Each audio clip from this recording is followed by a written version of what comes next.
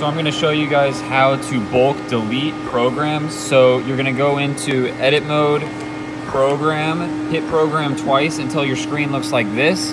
For example, I wanna move all of these that aren't selected. As you can see, that top one, 008 is selected. I wanna get rid of everything else.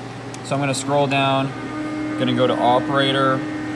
I'm going to hit the plus. I'm gonna hit select, select. Then I'm going to scroll up. You can see 1000 is selected in blue.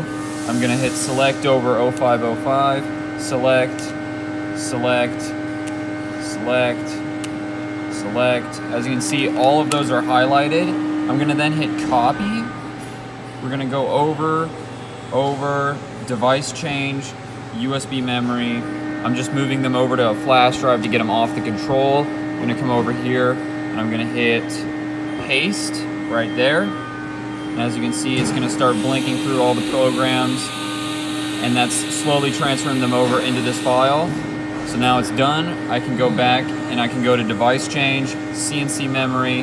They're still highlighted. Then I can come in here and I can hit delete, execute, delete, execute. And I can just get rid of all of those programs that I just copied over.